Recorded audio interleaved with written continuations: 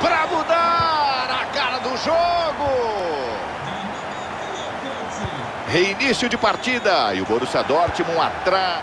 Gol!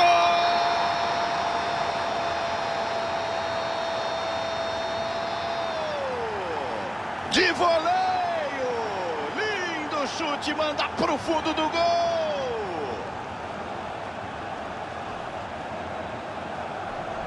E no replay a gente vê que bela assistência, passe preciso, por cima da marcação. E aí ele arriscou com a bola no ar mesmo, colocada. Pegou de voleio e fez um golaço.